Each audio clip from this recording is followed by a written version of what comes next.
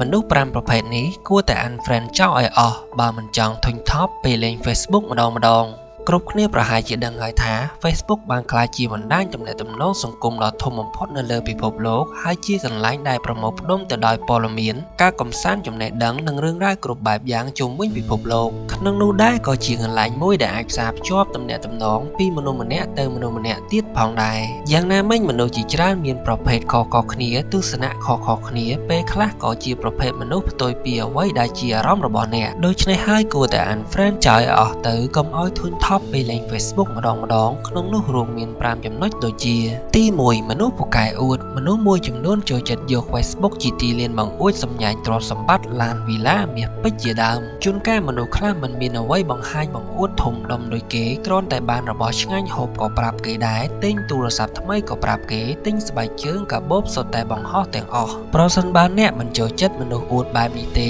មិនចាំបាច់ទុកទើសភ្នែកឡើយ unfriend ចោលទៅ ទី2អ្នកបង្ហោះឬ share តែរឿងអត់ប្រយោជន៍តើអ្នកធ្លាប់ជួបទេអ្នកខ្លះលេង Facebook គិតតែពី share ស្អីក៏ share រឿងខ្លះជារឿងប្រឌិតព័ត៌មានគ្មានប្រភពច្បាស់លាស់ក៏ share អញ្ចឹងហើយបើអ្នកយល់ថារឿងទាំងអស់នោះគ្មានប្រយោជន៍គួរតែដឹងទេសូម unfriend អ្នកពូកែ share និងពូកែបង្ហោះទាំងអស់នោះចោលឲ្យអស់តែម្ដងទៅ ទី3មនុស្សពូកែត្រាម៉ាអ្នកខ្លះទៀតពូកែខាងត្រាម៉ាសពគ្រប់បែបយ៉ាងបើរឿងធំដុំទៅមិនថានោះទេ តែរឿងខ្លះតូចសោះក៏បង្ហោះទៀងទាចំណាប់អារម្មណ៍ដែរបើគ្រាន់តែរឿងតូចតាចដោះស្រាយមិនចេញផងតើពឹងពាក់ការងារអ្វីបាន unfriend ចោលទៅមិនខុសនោះទេមនុស្សបែបហ្នឹងទី4មនុស្សដែលចូលចិត្តទៅគេគ្រប់រឿង ដោយអ្នកខ្លះទៀតចូលចិត្តតាំងខ្លួនជាតឡាការ Facebook រឿងអីក៏ចេះរឿងអីក៏ដឹងពេលខ្លះមិនដឹងរឿងផ្ទៃក្នុងរបស់គេផងបង្ហោះជាយកតែម្ដងគ្មានគិតទាំងមិនមែនជាសាច់ញាតិគ្រួសារគេផងនោះមនុស្សពូកែទៅគេគ្រប់រឿងបែបនេះមិនយូរទេនឹងទៅអ្នកនៅថ្ងៃណាមួយជាមិនខាន